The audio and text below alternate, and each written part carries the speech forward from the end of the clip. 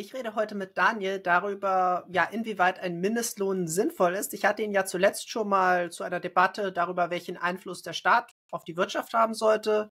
In diesem Sinne, hallo Daniel. Ja, hallo Konstantin. Findest du einen Mindestlohn sinnvoll? Und ja, wenn ja, wie hoch sollte er sein? Und wenn nein, warum nicht? Ja, das ist natürlich wieder kompliziert. Und zwar sehe ich eben das Problem darin, also das beantworte ich eine Frage nicht, ähm, ein Mindestlohn kann ich nur mir selber setzen. Ne? Also ich bin bereit, zu einem gewissen äh, Preis meine Zeit herzugeben. Ja? Und ich sehe nicht, ähm, dass es sinnvoll ist, dass eben ein Dritter dazwischen geht und sagt, das ist zu wenig, du darfst dafür nicht arbeiten gehen ähm, oder ähnliche ähm, von vornherein Einschränkungen gibt. Wenn die Leute quasi oder Employ Arbeitnehmer ähm, das so vereinbaren, dass sie für Preis X arbeiten wollen pro Stunde, dann sollten die das dürfen. Das ist eigentlich meine, meine Hauptposition. Und ähm, ich kann gleich noch ein bisschen was anderes dazu sagen, aber erstmal nur um deine Frage zu beantworten, das wäre der Hauptpunkt. Warum also, sollte ein Dritter einen freien Vertrag ähm, unterbinden? Also du bist dagegen, dass der Staat zentral einen Mindestlohn vorgibt. Genau, weil es unterm Strich ein Arbeitsverbot ist für einen Preis, den ich freiwillig akzeptieren würde. Und, äh, und es fraglich ist, ob ich zu einem anderen Preis eine Arbeit finde. Ja, Oder vielleicht genau diese Arbeit, ne, um das ein bisschen einzuschränken dieses Freiheitsargument, das finde ich nicht sonderlich sinnvoll, da ein Staat ja immer eine gewisse Lohnpolitik macht und immer Einfluss auf die Lohnentwicklung nimmt. Und bei dem Mindestlohn, da sagt der Staat nur, unterhalb dieser Grenze darf Arbeit nicht vergütet werden. Wir setzen hier eine Untergrenze, um noch effektiver Lohnpolitik machen zu können. Das heißt, es ist ein Instrument, um ja, für eine gewisse Lohnhierarchie zu sorgen und die Lohnpolitik noch effektiver beeinflussen zu können. Also in diesem Sinne finde ich nur, dass der Staat sich durch Mindestlohn zusätzliche Souveränität holt, auf seine Wirtschaft Einfluss nehmen zu können. Und deswegen finde ich das auch gut. Ja, in der Folge wäre es ja so, wenn jemand eben im ähm, Aushandeln seines, äh, seines Tarifes, seines Lohnes ähm, dann eine Arbeit nicht aufnehmen kann, weil es eben nicht dem Mindestlohn entspricht, dann wird er ja darauf zurückfallen, eben äh, Sozialleistungen zu bekommen. Also sprich, ich habe seine Situation an der Stelle nicht verbessert, sondern verschlechtert. Ne? Er hätte, sage ich mal, wenn wir jetzt einen Mindestlohn haben, ich weiß nicht, 12,80 oder 12,50 und äh, jemand ist bereit für 11 Euro irgendwo zu arbeiten und kommt dann darüber netto mehr Geld, als er eben über die Sozialsysteme bekommen würde, ähm, dann verschlechtere ich seine Situation. Das würde ich äh, anders sehen. Gut. Naja, das äh, würde ich anders sehen. Es, wenn diese Arbeits äh, Arbeit notwendig ist, dann wird das Unternehmen diesen Arbeiter auch weiterhin einsetzen. Es mag einige Bereiche geben, einige wenige Bereiche, wo es tatsächlich zu zusätzlichen Automatisierungen kommen kann, wo tatsächlich einzelne Arbeitsplätze verschwinden dadurch, dass du Mindestlohn hast. Das ist ein Effekt, wo du tatsächlich leicht die Arbeitslosigkeit erhöhen könntest. Auf der anderen Seite gibst du den Menschen, dadurch, dass du ähm, viele niedrige Löhne erhöhst, ja auch erstmal mehr Kaufkraft, was wieder die Wirtschaft ankurbelt, was äh, ja für mehr Nachfrage sorgt, was die Arbeitslosigkeit reduziert. Du hast diese zwei Effekte. Welcher von beiden Effekten geringer ist, äh, das kann man letztlich, äh, welcher von beiden Effekten höher ist, das kann man letztlich nur empirisch beantworten. Das ist nichts, was man jetzt äh, theoretisch ausdiskutieren kann. Aber das sind diese zwei Effekte. Einerseits mehr Nachfrage durch die höheren Löhne, andererseits äh, tatsächlich gewisse Automatisierungen, die es geben mag. Aber das ist ja ein marginales ja. Phänomen. Das ich meine, das führt ja dann äh, auch in einer, einer Handlungskette weiter. Also ähm, ich bin auch nicht der Meinung, dass die Arbeitslosigkeit sich deutlich erhöht, zumindest so, wie wir den Mindestlohn gestalten. Er ist ja auf einem sehr niedrigen Level, das stehe ich auf jeden Fall ein. Ähm, und da sehe ich auch die äh, jetzt in Richtung Arbeitslosigkeit gegebenen Effekte auch äh, nicht. Ja, aber natürlich ist letztlich der Mindestlohn auch wieder ein Treiber gerade hin zu Automatisierungen, da ja die Kosten steigen, da man ja sich gerne der Kosten entsprechend entzieht. Ent, und ähm, am Ende ist es ja immer irgendwo ein gewisses Wettrennen, ähm, um möglichst kosteneffizient und, und äh, günstig äh, zu produzieren. Und da sehe ich eben den, den Mindestlohn nicht als hilfreiches äh, Instrument mit drin. Wie gesagt, für mich ist das Hauptproblem, dass ich äh, Leuten verbiete, zu einem äh, Preis zu arbeiten, den sie selber akzeptieren würden. Und äh, sozusagen, es gibt ja ständig diesen natürlichen Mindestlohn, wenn wir jetzt einfach definieren, es gibt eben einfach Vollzeit diese 37 Stunden, die wir arbeiten in der Woche. Und wenn wir diese Stunden durch die ähm, Nettovergütung über die Transfersysteme dann teilen, dann haben wir ja auch eine Stunde und ein, ne, das hat es ja in einer anderen Debatte auch schon gesagt, es gibt ja dieses, dieses Level, dieses Mindestlohnlevel, über dem muss man sowieso bezahlen, weil keiner geht freiwillig arbeiten, wenn er netto nicht mehr in der Tasche hat, als er über die Transfersysteme bekommt. Und ähm, deswegen sehe ich darüber hinaus keine Notwendigkeit, einen Mindestlohn zu setzen. Ähm, wolltest du noch dazu was sagen? Weil sonst würde ich noch mal einen anderen Stamm mit aufmachen wollen. Ähm, oder war ja, Frage offen? Weil, weil du gerade sagst, dass man verbietet den Menschen zu arbeiten. Also wie gesagt, das ist ein marginaler Anteil. Der größte Teil der Menschen, denen sorgst da sorgst du einfach dafür, dass die ein paar Euro mehr Lohn bekommen. Also das halte ich für viel, viel relevanter, dass viele Menschen ein zusätzliches Einkommen haben, was ja auch gut für die Wirtschaft ist, wenn die Lohnhierarchie nicht so stark auseinandergeht. Ja, das wäre dann wieder die Frage der Zahlen. Ne? Wie viel ähm, Leute sind davon dann am Ende betroffen? Und, und das wäre auch gerade, es ist gut, dass du das äh, so, so bringst, weil da komme ich mit deinem Strang dann auch gut rein. Ähm, was, was ist denn ein Mindestlohn oder überhaupt? Wie, wie kommt man in die Arbeitswelt? Ne? Also der Mindestlohn wird ja viel zu oft so gedacht, als wäre das ein, eine Bezahlung, die man mit Beginn einer Arbeitsstelle bis zum Eintritt ins Rentenalter dauerhaft auf diesem Level hat. Und das ist ja nicht der Fall. Also jeder fängt ja, also wenn man es makroökonomisch betrachtet, ja, ähm, ist das ja nicht der Schnitt der Leute, die quasi in einem Unternehmen anfangen mit einem sehr geringen Gehalt und das sein Leben lang behalten. Ne? Und deswegen finde ich die Rechnereien schwierig, wenn wir sagen, okay, wir brauchen jetzt einen Mindestlohn von 16 Euro, damit man im Rentenalter entsprechend eine auskömmliche Rente hat. Denn das wäre ja so oder so fatal, wenn jemand mit Beginn seiner Arbeit bis zum Ende seiner Arbeit nur Mindestlohn bekommen würde.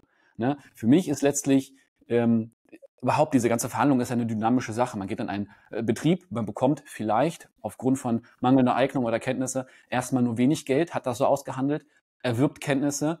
Man hat ja, ne, also ob das jetzt Gewerkschaften sind oder direkt ein Chefverhältnis und äh, man kann mit wachsender Kenntnis, wachsenden Fähigkeiten entsprechend einen höheren Lohn dann aushandeln und äh, über dem, was man anfangs mal äh, festgesetzt hat, dann verdienen. Und ja, wie gesagt, diese, diese, diese, äh, diese Herangehensweise, als wäre der, der Mindestlohn so gesetzt und dass da so viele dauerhaft drinne hängen, die teile ich nicht. Ja? Und nur so würde es ja, finde ich, auch in der Gesamtdebatte Sinn machen, wenn es wirklich Menschen gibt, die ihr Leben lang an diesem Gehalt gebunden sind. Die einzigen, das ist die, die, die, die, die Sache, die ich eben auch in meinem Umfeld sehe, die daran gebunden sind, in Anführungsstrichen, sind eben die, die wirklich sehr, sehr, ähm, also quasi diese, diese ah, wie heißt das? Ähm, Minijobs, genau, die Minijobs, also die eben in diesem Bereich äh, arbeiten, wo man ja sowieso keine Steuern zu zahlen hat ne, und auch äh, nur sehr geringe Abgaben leistet. Und da ist der Mindestlohn oder überhaupt auch vor dem Mindestlohn der, der, äh, der, der, der Nettolohn, äh, der Bruttolohn ist gleich Nettolohn quasi. Ne? Also du hast eben in diesem Minijob vorher deine 11 Euro bekommen, die hast du auch auf die Hand bekommen. Da war nicht noch groß mit Abzügen oder sowas. Und deswegen, ähm, wenn die jetzt dann 12,50 Euro bekommen oder vielleicht später mal 16 Euro, ähm, die haben da richtig was von, das ist mir schon klar. Ne? Nur ähm, ist das eben nicht notwendig. Das sind die Leute, die da haben das ja ähm, sich rausgesucht, dass sie da vielleicht eben einen Tag am Wochenende irgendwo ein bisschen arbeiten oder äh, vielleicht bei uns sind es vor allem Reinigungskräfte, die äh, vormittags vielleicht eine Stunde irgendwo Freizeit haben, die eben auch putzen verbringen können und ähm, die eben gar nicht von diesen Abzügen insofern betroffen sind, dass sie jetzt ähm, dass das wenig Geld wäre in der Hand. Also die haben ja äh, je nach äh, anderen äh, Posten bei uns gar nicht so viel weniger netto, ja, äh, wie, wie eben Leute, die dann auch einen Stundenlohn haben von, von ähm, 17, 18, 19 Euro, äh, weil die es eben direkt bekommen. Ja, und ähm, ja, ich, ich sehe darin eine, eine, eine Verzerrung. Das ist das, was ich auch für mich äh, rein äh, praktisch mitbekomme. Ähm, hin dazu, dass eben diese äh, Felder bei uns entweder wegfallen, geringer ausfallen, also von dem Umfang her, ne, also sonst waren es mal zwei Stunden Reinigung äh, für einen Tag, jetzt sind es dann anderthalb und dann wird es nochmal abgestuft, um eben die Kosten entsprechend zu senken, aber es muss ja trotzdem sauber gemacht werden. Und das machen dann eben die, die mehr verdienen, die eigentlich gar nicht für diese Arbeit direkt vorgesehen sind, aber es muss ja sauber gemacht werden, also machen dies. Und ähm, das sehe ich eben nicht, nicht als funktional. Ne? Also es gibt einfach Jobs, die, ja, die, die sind eben sehr, sehr äh, einfach umzusetzen. Und warum ähm, greifen wir denn da quasi so stark in die Arbeitsteilung ein? Ne, das, das macht für mich wenig Sinn, wenn ich jemanden, der sehr viel besser qualifiziert, qualifiziert ist, ähm, dann von seinen qualifizierteren Aufgaben abziehe, eben, äh, weil dann eben diese Arbeit äh, noch mit zusätzlich zu tun ist. Ne? Weil einfach da dann ähm, immer gerechnet wird, entsprechend hin zum Grenznutzen. Also da sind äh, zwei Punkte, auf die ich eingehen möchte. Erstmal diese Rumrechnerei mit im Sinne von, wenn sein ganzes Leben Mindestlohn bekommen äh, würde, wann hätte man denn eine ausreichende Rente? Das ist ein Extremfall, ja, aber man hat ja auch Phasen von Arbeitslosigkeit, Phasen, wo man Kinder bekommt, Phasen, ja, wo man schlichtweg gar nichts verdient, die dann auch reinfallen. Das heißt, du hast in der normalen Erwerbsbiografie in Phasen, wo du mehr verdienst, aber auch Phasen, wo du überhaupt nichts verdienst und überhaupt keine Rentenpunkte ansammelst. Das heißt, du brauchst erstmal, wenn du ja, wenn du rechnest, dann brauchst du so eine Extremannahme. Ich arbeite die ganze Zeit zu diesem Lohn. Ich bin also nie arbeitslos. Ich ähm, verdiene aber auch niemals mehr, um jetzt erstmal so ein Rechenbeispiel zu haben, um irgendwie auf eine ja vernünftige Höhe des Mindestlohns zu kommen. Das kann man jetzt natürlich auch äh, anders berechnen. Man kann sich angucken, wie hoch ist das durchschnittliche Gehaltsniveau und wie viel muss man jetzt verdienen, um da möglichst nah dran zu, also kann man jetzt diskutieren, wie man das genau berechnet. Die Linksfraktion hat das jetzt äh, 2000, 2018 war das, glaube ich, äh, nur mal so angefragt und dann haben, ähm, hat sie das so in ihr Programm übernommen. Ich habe das dann so weitergerechnet auf meinem Kanal. Wie gesagt, ist eine extreme Annahme, aber es gibt eben auch das, ja, den anderen Fall, dass man gar nichts verdient, nicht nur, dass man mehr verdient. Also so einfach ist es dann auch nicht. Ähm, zum anderen Punkt, ähm, wenn du Mindestlohn hast, dann setzt du damit eine, eine, Untergrenze. Du sorgst also dafür, dass keiner weniger verdienen kann. Das heißt, alle Löhne, die da drüber sind, die hebst du eben mit an. Je näher sie sich am Mindestlohn befinden, desto stärker hebst du die Löhne, die ähm, da drüber sind, auch mit an. Das heißt, jemand, der vorher vor dem Mindestlohn mit 12 Euro, der da 10 Euro verdient hat, dessen Lohn wurde jetzt auf 12 Euro erhöht. Jemand, der 12 Euro vorverdient hat, der verdient jetzt vielleicht 13 Euro. Eben weil Unternehmen ja eine gewisse Lohnhierarchie haben, durch ihre Tarifverträge vorgeschrieben oder ähm, ja, einfach durch die Arbeitsteilung vorgeschrieben, also dass jemand, der mehr Verantwortung hat, auch mehr verdienen muss. Das heißt, du kannst den Lohn von jemandem, der vorher bei 12 Euro lag, den kannst du nicht mal 12 Euro lassen, wenn der Mindestlohn jetzt 12 Euro ist, sondern den musst du auch leicht anheben, damit es sich lohnt, dann auf dieser Stelle zu arbeiten. Das heißt, du hebst das gesamte Lohnniveau durch so einen Mindestlohn an und je näher sich die Löhne am Mindestlohn befinden, desto stärker ist der Effekt. Also ein Stundenlohn von 40 Euro, der wird von so, von dem Mindestlohn gar nicht beeinflusst worden sein, aber ein Mindestlohn, aber ein Stundenlohn von 13 Euro, von 15 Euro, der wird schon vom Mindestlohn auch mit angehoben worden sein. Kann ich jetzt aus, aus meiner Praxis nicht sehen. Also ich, ne, das kommt natürlich mal drauf an, auf welchem Level. Also gerade wenn ich jetzt eben, ich hatte immer schon gesagt, ich komme aus dem Einzelhandel, wenn ich jetzt die einfachen Verkäufer sehe, ähm, ähm, das, also ich meine, es liegt bei 17,60 ja, und das liegt schon eine ganze Weile, also um die 17 Euro, wie jetzt die Centbeträge dahinter sind und das hat sich nicht wahnsinnig verändert. Und da sehe ich eben auch die größte Problematik, also jetzt einfach, äh, wenn, wenn man in dem, in dem Level ist und wenn man dann eben weiß sozusagen, dass ähm, man auch deutlich weniger machen könnte, leisten könnte und äh, dann eben auf 12 Euro, wie viel sind es, 50 fällt. Ähm, 12 Euro sind aktuell noch, das soll auf 12,41 Euro bald steigen. Ja, ähm, also da finde ich schon eine, eine harte Oder ist schon gestiegen, weiß ich jetzt gerade gar nicht so genau. Ich, ich bin da auch leider nicht mehr so im Thema. Ne? Also ich sehe da schon eine harte Diskrepanz einfach in dem, äh, was man an Verantwortung und an ähm, Aufgaben zu leisten hat, äh, wenn man das eben jetzt vergleicht mit dem, mit dem Reinigungsjob. Ja. Und weder die, die Reinigungsfrau oder äh, Mann, sorry, ähm, ist jetzt äh, äh, war nicht gewillt für für weniger zu arbeiten ähm, und, äh, und deswegen also für mich ist es eben wirklich rein praktisch ein, ein starker Eingriff in die Arbeitsteilung, ne? dass man einfach wirklich immer mehr wie soll ich sagen unqualifizierte Arbeit den anderen aufbürdet, weil man an der Stelle für das Geld eben immer weniger Stunden bereitstellt. Ne, weil es geht, betrifft ja hauptsächlich diese äh, Minijob-Geschichte, äh, aus meiner Praxis. Ja, da müssten die ähm, anderen Löhne eigentlich steigen. Also wenn unqualifizierte ja. Arbeit attraktiver wird damit, dann müssten die Löhne, die etwas darüber legen, eigentlich äh, mitsteigen. Das, das ist ja genau. Ziel des ja, Mindestlohns, also dass die Lohnhierarchie verringerst. Ja, wie dass die Lohnhierarchie verringerst. Sorry. Die, Lohnhierarchie, die war ja früher auch mal geringer. Die war ja hm. nicht so groß, wie sie heute ist. Die ist in den letzten 30 Jahren ja enorm gestiegen. Also hohe Löhne sind gestiegen, die niedrigen Löhne sind nicht gestiegen. Und das kann man jetzt durch den Mindestlohn wieder ein bisschen zusammenschieben.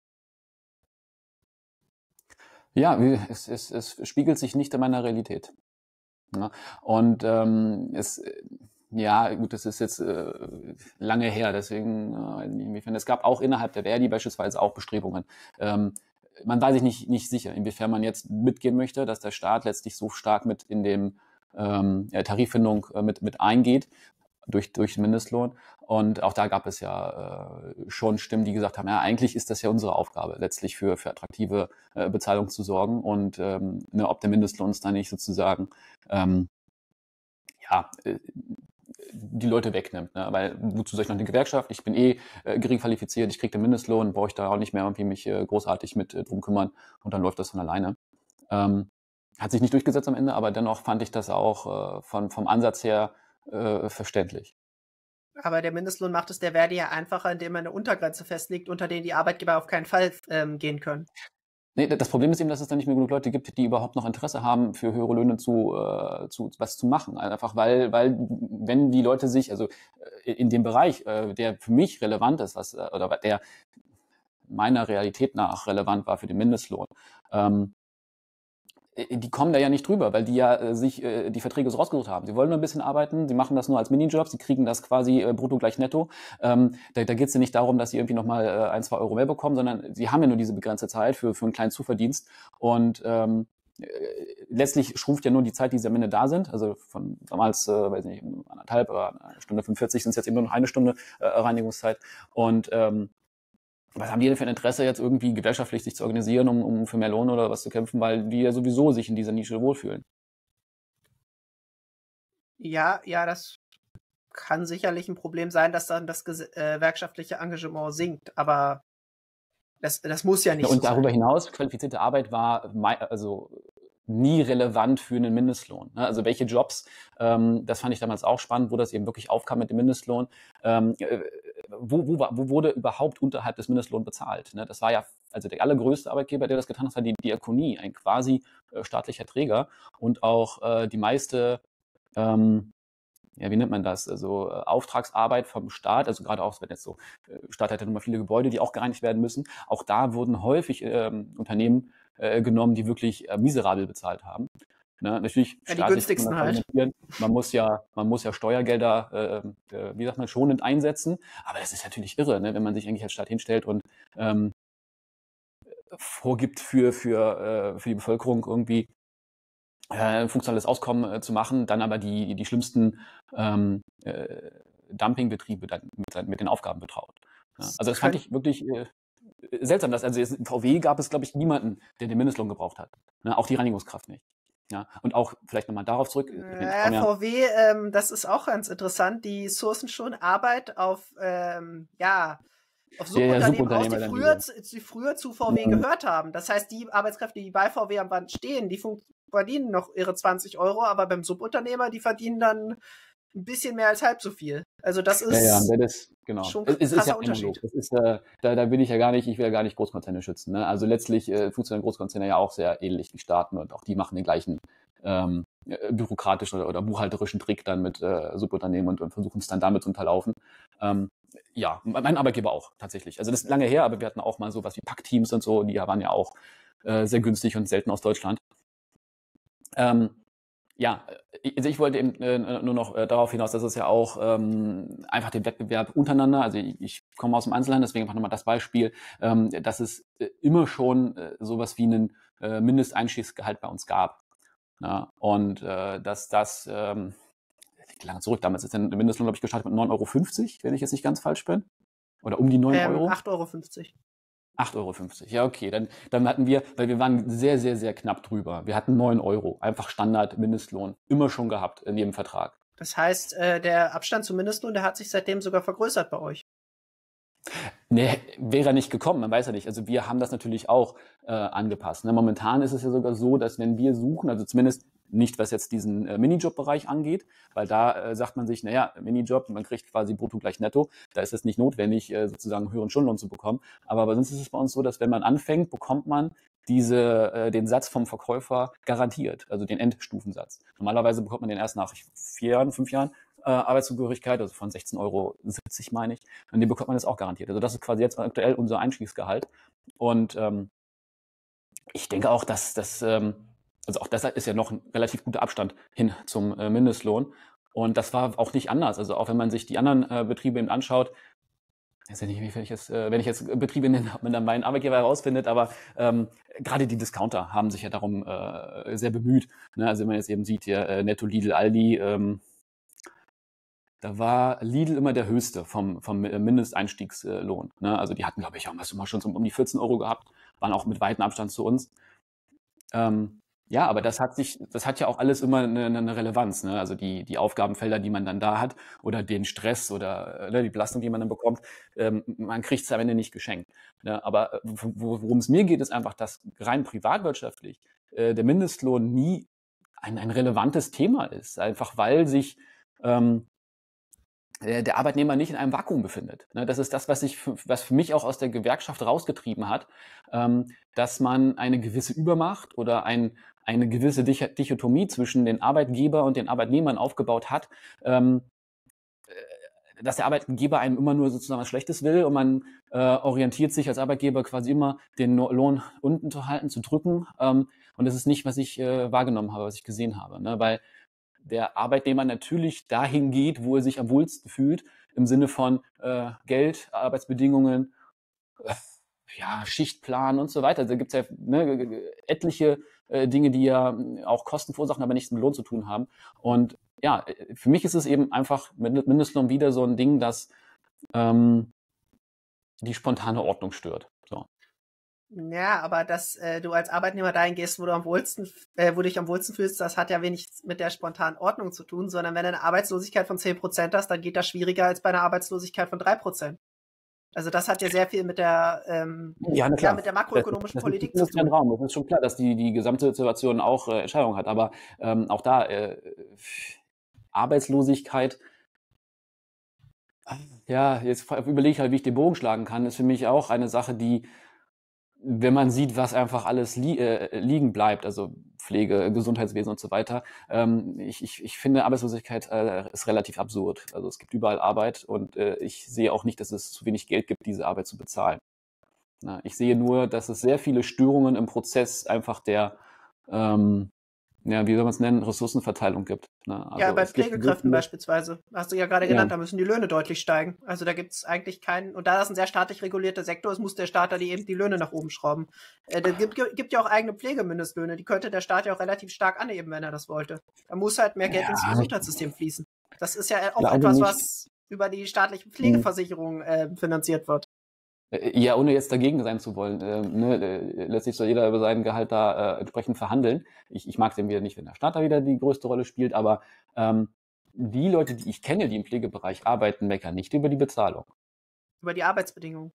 Ja, genau, über die, äh, erstmal über das, was man qualitativ mitbringen muss, je nach äh, Pflegeposten und auch das, was dann einfach äh, Belastung, ob das jetzt eben äh, geistigerseits ist oder ähm, äh, körperlicherseits. Ne? Es gibt ja äh, nicht nur Pflege jetzt, sage ich mal, von bettlägerigen alten Menschen. Ne? Es gibt ja auch hm, psychische Störungen und so weiter, die auch gepflegt werden müssen und so. Das hat dann vielleicht weniger mit körperlichen Sachen zu tun als mit Kopf. Aber ähm, die, die, die ich kenne, sind äh, geldlich also wirklich, wirklich hochzufrieden. Ja, aber also du musst ja, äh, wenn, wenn du die Belastung verringern willst, dann musst du ja mehr Leute erstmal da anstellen. Damit eben ja, genau. und die Pfleger geringer ist. Und wie lockst du neue Leute dahin? Also, indem du mehr Leute ausbildest, indem du da mehr Werbung für machst, also kann, kannst du alles machen, ja. aber erstmal, indem du dann die Bezahlung erhöhst. Vor allem die Bezahlung in der Ausbildung, dass wirklich junge Leute sagen, okay, das ist attraktiv, da will ich hin. Also das ist das, was du als erstes machen kannst. Das ist das, wo du am schnellsten umverteilen ja, kannst. Ich, ich will jetzt hier nicht den, den Fehler machen, selber Makroökonom zu sein. Ich habe keine Ahnung über die Zahlen vor Ort. Ne? Ähm, ja, sollen sie das erhöhen. Ne? Also ist eben die Frage wieder, wer das bezahlt und wie das dann am Ende, äh, am Ende möglich ist, aber letztlich, äh, klar, äh, von mir aus. Ja, aber jetzt sind wir schon wieder ein bisschen weggekommen vom Mindestlohn, weil wir ja diese, diese gesamten ähm, es hängt ja alles mit allem zusammen. Ja, ja, ja diese gesamte Problem. makroökonomische Politik, die ist da ja schon sehr relevant. Und der Mindestlohn, der ist in einer Situation der Vollbeschäftigung, wo die Gewerkschaften unterm Strich genauso mächtig sind wie die Arbeitgeber, wo du auch ja fast alle Bereiche durch Tarifverträge abgedeckt hast, wie das in den 70ern noch der Fall war, da brauchst du keinen Mindestlohn. Wir hatten in Deutschland ja auch jahrzehntelang keinen. Aber in einer Situation, wo du halt große Unterbeschäftigung hast, wie das aktuell der Fall ist und wie das in vielen anderen EU-Ländern noch viel schlimmer als in Deutschland der Fall ist, da brauchst du halt einen Mindestlohn, um die Löhne eben ähm, vernünftig voranzutreiben. Der Mindestlohn ist ein Instrument der äh, Lohnpolitik, er ist nicht das Wichtigste. Aber er ist eben ein sehr relevantes, ähm, ein sehr relevantes Instrument und je höher die Arbeitslosigkeit ist, je geringer die Lohndynamik allgemein ist, desto wichtiger wird er als Instrument. Und deswegen fände ich es auch einen großen Fehler, ihn aufzugeben, weil der Staat sich damit auch einer Handlungsfähigkeit beraubt. Äh, was du ja wahrscheinlich gut findest, wenn der Staat nicht so, so handlungsfähig ist. Ja, natürlich, ja. Also prinzipiell ist das richtig. Ähm, Gott, eben hatte ich einen Gedanken, äh, wo du gesprochen hast, aber ich glaube, ich habe ihn gerade wieder verloren. Ja, also ähm, mein Argument war, der ja, Staat abschaffen, ja, das Abschaffen, das war, glaube ich, das Ding gerade, was ich hatte. Ähm, ja, also äh, das mag absurd sein, weil ich wollte ja gerne um den Mindestlohn reden und jetzt hätte ich auch die, die Position, also aktuell nach dem Stand, wo der Mindestlohn ist, ähm, ist der einfach auch von der Höhe relativ unrelevant. Also ob er jetzt da wäre oder weg wäre, äh, aus meinem Arbeitsumfeld, deswegen hatte ich es ja anfangs auch schon äh, erklärt, ähm, spielte der einfach kaum eine Rolle, weil wir äh, von den, wie soll ich das nennen, normalen Beschäftigungsverhältnissen sowieso drüber waren. Also es gibt Bereiche, wo es, es tatsächlich äh, noch schlimmer äh, aussieht als in deinem Bereich. Also ähm, es gibt noch Bereiche, wo du auch Anteile von, also wo du sehr geringe gewerkschaftliche Organisationen hast, einen hohen Anteil an ausländischen Arbeitskräften, die sich ja noch schlechter organisieren können, wo das schon ein größeres äh, Problem ist in der Schlachtereibranche oder Reinigungsbranche. Also es gibt schon Bereiche, wo das mhm. noch ein bisschen problematischer ist als im Einzelhandel, wo du tatsächlich äh, deutlich stärkeres Lohndumping sehen würdest, wenn du den Mindestlohn nicht hättest. Ja, ja, also ich, ich, ich, ich denke auch jetzt während der Debatte ein bisschen so danach, dass es wahrscheinlich vor allen Dingen, äh, was Subunternehmen angeht. Ne? Ich weiß nicht, wie es in der Schlachterei ist. Ich glaube, da war das ja auch so, dass die ja viel aus dem Ausland herholen. Und ähm, oder ja. Lieferdienstfahrer. Du hast ja Amazon als Riesenunternehmen, was eigentlich auch angeblich gar nicht so schlecht bezahlt. Das hat dann aber zig Subunternehmen, die sich dann teils auch gar nicht an den Mindestlohn halten. Also die versuchen, den zu umgehen. Also ganz ohne Mindestlohn hättest du dann noch einen viel, viel schlimmeren Race to the Bottom, denn solche Subunternehmen, die können natürlich pleite gehen, ohne dass das Amazon dann groß interessiert. Also die können sich dann gegenseitig niederkonkurrieren. Und wenn du da keine, keine Untergrenze hast, die du als Staat ziehst, dann, ja, wo, wo ist dann die Grenze? Also die Grenze ist da, wo du keine Arbeitnehmer mehr findest, die bereit sind, für diesen Mindestlohn ja, zu arbeiten. Und ist, ist wenn das, du so eine hohe Einwanderung hast, wie wir das gerade haben, dann hast du halt viele Arbeitnehmer, die erstmal neu in Deutschland sind, die erstmal im Arbeitsmarkt ankommen müssen und die bereit sind, zu sehr niedrigen Löhnen zu arbeiten erstmal. Ja. Ja, da gehe ich auch so weit mit. Also das ist natürlich, ähm, ich hatte äh, eingeleitet, ne? Es ist ein, ein, ein komplexes Proble äh, Problem oder zumindest ähm, ähm, geht es mir eben vor allen Dingen um diese äh, Geschichte, dass ein Dritter theoretisch jemanden sagt, zu dem Preis darfst du nicht arbeiten. Aber natürlich äh, mag es Einzelfälle geben. Ne? Das ist ja, hätte ich ja gesagt, wer arbeitet schon ein ganzes Leben für den Mindestlohn? Und insofern, ähm, ja, ich habe mich nicht genug äh, damit befasst, was Subunternehmen angeht. Ne? Weil ich hatte, ich hatte es ja nur beim Staat angesprochen, aber klar, es ist ja auch so, dass eben wie gesagt, schlechter, schlechter Bereich, wo du es gerade gesagt hast, mir das so eingeschlossen hatte, so ein paar Berichte mal gehört von, von Tönnies, ähm, wo ja wirklich üble Zustände herrschen. Ähm, ja, wie gesagt, ja. also da wo, so, da, wo du einfach nur ein Subunternehmen gründest, was vorher quasi das gleiche gemacht hast wie der Großkonzern, nur halt zu einem niedrigen Lohn.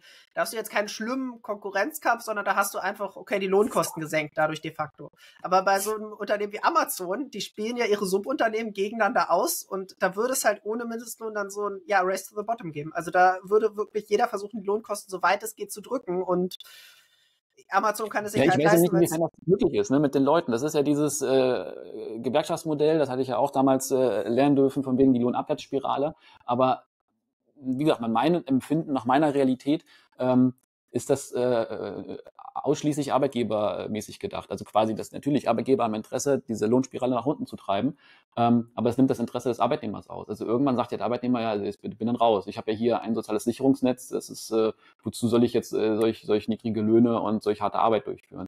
Ne? Also ich, ich habe das für mich in der Realität auch so, ich, ich, ich habe auch im, äh, im, gewerkschaftlichen Umfeld auch mit Leuten gesprochen, ähm, habe das nie als eine relevante äh, Größe kennengelernt. Ne? Aber es mag gerade was Migration und so weiter geht, Ausnahmefälle geben, ähm, wo man vielleicht hingucken müsste, aber natürlich ist es auch ein Problem, hatten wir ja in einer anderen Debatte, ähm, dass es ja so an sich auch ein, gar nicht geben sollte. Ne? Also das ist ja, also das ist ja auch das, was du hin und wieder mal anbringst, dass das ja irgendwo politisch gewollt ist, dass man so eine äh, ich sag mal, wartende Arbeiterschaft hat, die die Löhne äh, auch auf größeren äh, äh Feldern drücken können.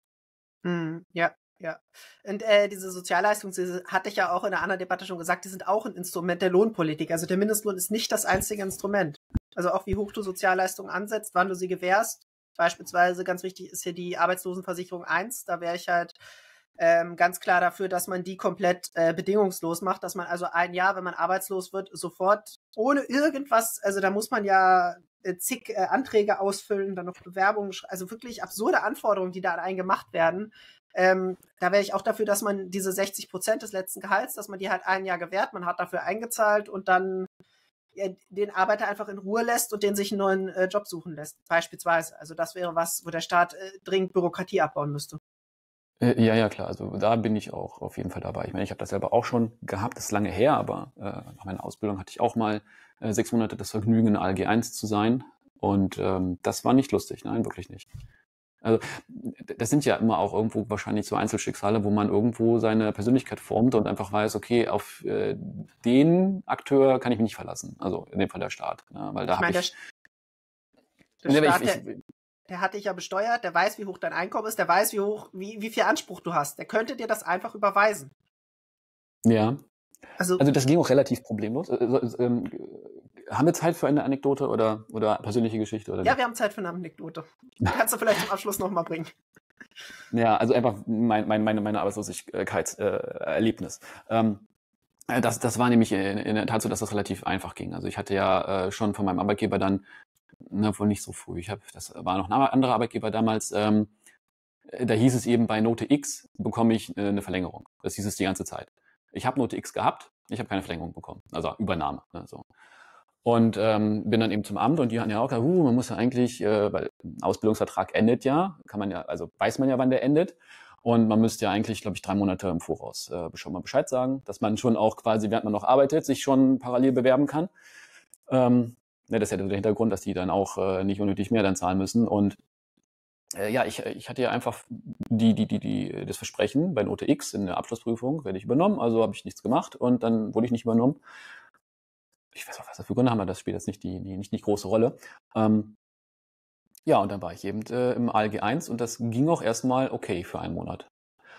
Und dann äh, gab es diverse äh, ja, ja, Angebote, ne? also äh, mafiöse Art fast schon. Ne? Ich habe hier ein Angebot, das du nicht ausschlagen kannst. Äh, dann gab es äh, für mich eben nur die Wahl zwischen verschiedenen Kursen, die ich machen muss. Ansonsten äh, kam ich da auch wieder in Gefahr, dann eben entsprechend äh, sanktioniert zu werden.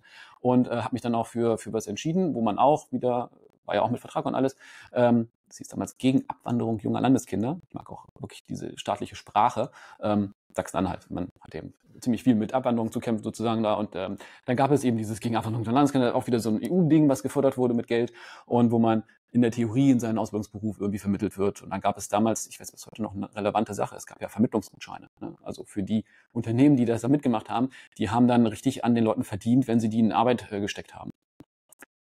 Ähm, also es waren wirklich mehrere tausend, ich meine, 2000 Euro oder was für jemanden, den du dann in eine, ein Arbeitsverhältnis vermittelst. Und dann war ich da eben drinne und ähm, es hieß ja immer, es geht in meinem äh, Beruf und am Ende stand ich dann eben äh, da äh, mit äh, Jobangeboten für, das war auch im, im, Fleischgewerbe, für mich ziemlich äh, problematisch, also eine zarte Pflanze und ähm, Straßenbau und äh, Landschaftsgärtner wurde mir angeboten. Alles nichts, was ich wie Einzelhandel. Ne? Kein Plan von nichts eigentlich, was da ist.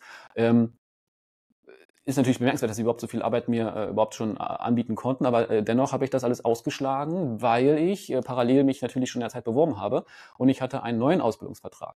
Ja? Und der startet aber eben erst in fünf Monaten. Ich hatte einen Monat rum, ne? in fünf Monaten hatte ich einen Ausbildungsvertrag. Habe ich gesagt, nee, äh, mache ich nicht. Ne? War nicht so vereinbart. Wenn, wenn ihr was habt, was, äh, was, was mein Job ist, dann, dann ja gerne, aber ist ja nicht mein Job. Und äh, in der Zeit hatte ich auch noch äh, einen Minijob nebenbei gemacht, um was dazu zu verdienen und dann im ALG 1. Und die haben dann gesagt, ja, okay, dann melden wir das dem Amt, dass sie nicht äh, kooperativ sind. Und äh, so war das dann auch. Hab dann eben auch noch ein bisschen Anruf bekommen, wurde auch nochmal darauf äh, hingewiesen, dass ich das annehmen muss. Hab denen dann auch erklärt, nein, es wurde ja anders ausgehandelt. Nee, ich muss das annehmen. Äh, sonst muss ich sie sanktionieren. Und ich hätte das nicht geglaubt, dass das so geht. Ne? Also da habe ich, glaube ich, auch sehr stark meinen Vorbehalt äh, von staatlichen Institutionen mitgenommen. Ähm, ich habe immer gedacht, also es ist ja so, diese Sanktionen sind ja stufig aufgebaut, äh, zumindest was jetzt Hartz IV damals anging. Ähm, ne, ich glaube 30, 30 und dann 0. Also ne, immer 30 weniger. Ähm, und ich habe dann wirklich äh, zum zweiten Monat null Geld bekommen, gar nichts, ne? kein ALG 1. Und das ist insofern schon krass. Ich war damals ja noch sehr jung, ne? ich, äh, aus der Ausbildung. habe bei Mama gewohnt, deswegen war es ja mir egal. Aber das ist natürlich ein Druck, der aufgebaut werden kann. Ich hätte theoretisch Kinder haben können, eine eigene Wohnung und so weiter. Ich hätte die, diese schlechten Jobs angenommen, die ich prinzipiell nicht ausfüllen kann und auch mit welcher Perspektive. Ne? Ich habe äh, eingezahlt in diese Versicherung lange genug, hatte ja eine dreijährige Ausbildung hinter mir und habe jetzt, äh, auf, weil ich weiß, in fünf Monaten bin ich wieder in Arbeit, äh, gesagt, ich mache das nicht. Ich würde was machen, was meinen Fähigkeiten entspricht, aber das mache ich nicht. Ich habe ja meinen Job und äh, ja, von jetzt auf gleich 100 Prozent kein Geld mehr. Ne? Und hatte dann, ich glaube, es waren drei Monate eben nichts weiter, außer, außer das, was ich vom Minijob bekommen habe. Äh, und habe natürlich dann in den, in den Institutionen, wie das eben möglich ist, Einspruch eingelegt und alles, äh, alle, alle Gänge gemacht. Aber rückwirkend das Geld auch bekommen. Ne? Also so ist es nicht. Aber da habe ich für mich eben gemerkt, ähm, wie das, wie das aufgebaut ist. Also, dass es eine Institution gibt, die theoretisch dafür da ist, Leute aufzufangen, die Probleme haben ne, und so weiter aber ähm, ja, die Leute auf Spur hält. Also schon auch eben guckt, natürlich, eine gewisse Relevanz hat das, die müssen ihre Kosten ja auch äh, äh, irgendwie ähm, argumentieren oder zumindest, ne? Kann ich alles ein bisschen nachvollziehen, aber es ist ein Riesenproblem, dass diese Institution quasi, ähm, wenn man jetzt mit Gewaltenteilung argumentiert, alles erfüllt. Also sie ist quasi Ankläger, sie ist ähm, äh, Legislative, die den Fall eben äh, durchspricht, ähm, und, und sie ist dann auch Richter. Ne? Also alles eine, äh, also alle Möglichkeiten, die, die theoretisch jetzt nochmal den Fall ein bisschen nüchterner betrachten hätten können, waren in einer Person gebündelt. Ne? Und äh, die hat dann auch entsprechend ihre Macht dann ausgenutzt. Ja. Ne? Also das ja. wäre vielleicht auch, ich weiß nicht, wie es heute ist, äh, ein, ein sinnvolles äh, äh, Reformvorhaben, äh, sage ich mal, dass man die Macht der ähm, Ämter, Jobcenter, damals war ja auch mit der AGE äh, äh, viele Problematiken verbunden, dass man da eben wirklich zu einer gewissen äh, Kompetenzverteilung hinkommt, dass eben man nicht so ausgeliefert ist den einzelnen Sachbearbeitern. Auch da habe ich aus dem Privatumfeld einige äh, Sachen mit aufgenommen. Beim ALG 1, äh, das ist ja eine Leistung, da hast du ja gerade selber gesagt, dass du für eingezahlt. Also das ist ja bei der Krankenkasse ja. auch nicht so, dass wenn du zum Arzt gehst, dass du erstmal genau nachweisen musst, dass dieser Arztbesuch jetzt sinnvoll ist. Nein, so du hältst einfach deine Krankenkassenkarte hin, es wird bezahlt. Oder wenn du in ja, Rente ja, kommst. Ich meine, jede also Versicherung, ne? ich meine, wenn ich irgendwie eine Brandschutzversicherung habe und ähm, ne, die, die, die wird dann fällig und dann kommt die Versicherung um die Ecke und sagt, ja, aber du kannst jetzt nicht da ein neues Haus bauen damit oder so. Das ist ja absurd. Also, ne, es ist ja, es ist ja genau eingefallen. Das wäre, also das wäre natürlich jetzt auch ähm, durchaus, das ist, das führt jetzt vielleicht ein bisschen weiter, aber auch das kann man natürlich liberalisieren. Also das Konzept von Arbeitslosenversicherung. Warum ist das komplett in staatlicher Hand? Also man könnte durchaus sich vorstellen, dass es da äh, private Modelle gibt, die interessantere Konzepte verfolgen. Ne? Also mit vielleicht wirklich maßgeschneiderteren ähm, Schulungsangeboten äh, einfach, ne, weil sie im Vorfeld ähm, eine gewisse Höhe aushandeln können, wie viel zahle ich da ein. Und das ist dann im, im Arbeitslosenfall, wie sind die Auszahlungsmodalitäten. Also auch da kann ich mir gut vorstellen, dass man ähm, äh, privatwirtschaftlich bessere Versicherungen auf den Weg bekommt. Ähm, jetzt nicht mein oberstes, oberstes Anliegen, aber das äh, kann ich mir auch sehr gut vorstellen. Ja, das würde ich äh, anders sehen, aber das wäre das wäre nochmal ein eigenes Thema, über das wir wann anders wahrscheinlich äh, debattieren ja. könnten. So. Also in dem Sinne würde ich die Debatte auch schließen. Sind jetzt fast 40 Minuten geworden. Hatte ich auch nicht mitgerechnet, dass wir so lange über Mindestlohn reden, aber dann ciao. Okay. Ja, tschüss.